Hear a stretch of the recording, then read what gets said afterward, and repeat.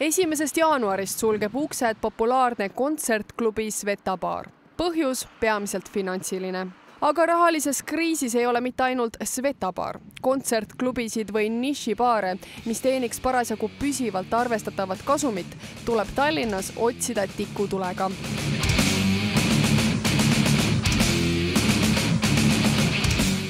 Nii teatas hiljaaegu sulgemisplaanidest ka Tallinna rokiklubi Barbar, samuti on äri sulgemise taga raha. et selle kontseptsiooniga ei ole enam äh, mõtet edasi toimetada.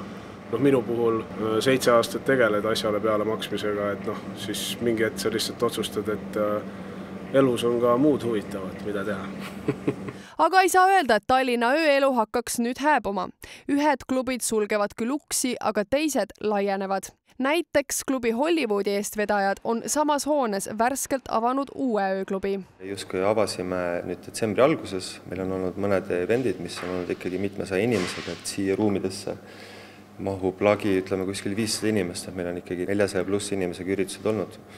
Meie üritame sellise äh, lihtsustatud öeldes sellise peavoolu muusika ja sellise põrandaalumuusika kuskil aritmeetiline keskmine olla, et seal vahepeal. meie kindel suunitlus on ikkagi teha, püüda seda natuke vanemat ja majanduslikumalt kindlustatud inimest Tallinna öölinnapea Natali Mets ütleb, et koroonakriisi tõttu on Tallinna ööelu kaotanud palju noori täiskasvanuid, sest viiruse leviku ajal jäi väljas käimise harjumus paljudel noortel välja kujunemata see on ka üks täiendav põhjus, miks kontsertklubide käibed on vähenemas.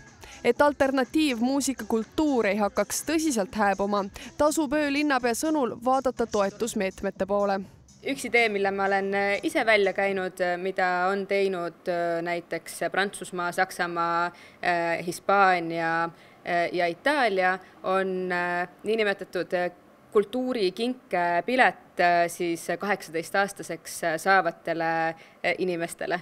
Metsa sõnul võiks tegu olla näiteks viiekümne eurose kinkekaardiga, mida noor saab kasutada ainult kontsertide külastamiseks